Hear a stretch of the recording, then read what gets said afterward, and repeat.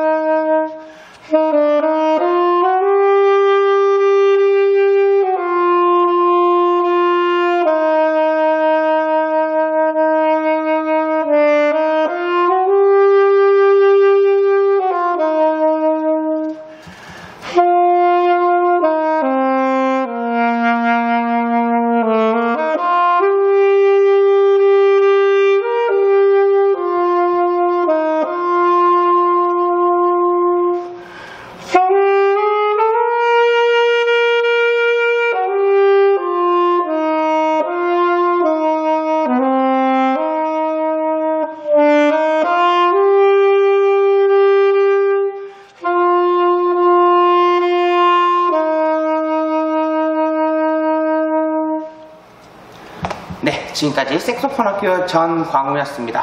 감사합니다.